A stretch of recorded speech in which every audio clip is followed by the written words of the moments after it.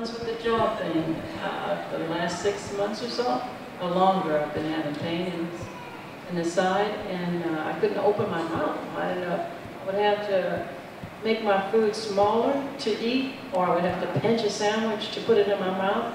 Now I can open my mouth. How long, how long has it been since you could open your mouth that wide?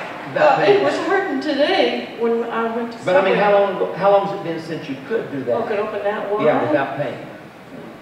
Oh, long time. I don't know how many months. More than a year? No, it's been about a, a little more than six months. More than six months? Yeah. And now you can. I can open my Aye. Thank you, Lord. Thank you, Lord.